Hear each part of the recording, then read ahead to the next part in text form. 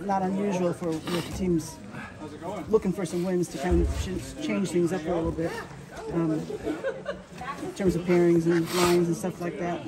Yeah, I mean, I, I think you try to find different solution or uh, change things up. Sometimes uh, a new uh, new relationship or a new uh, kind of situation can spark things up. So, um, but at the end of the day, uh, we all have to play the same way. We all have to play better. We all know that.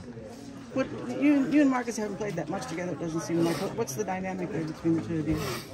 Uh, well, we play a little bit together, not not a ton, but uh, you know, I mean, I think we have tremendous players across our lineup, so uh, it doesn't really matter who I play with. But Marcus bring uh, an offensive dimension to, to the game. Uh, he's been playing really well this year, so um, yeah, he's a good two-way player.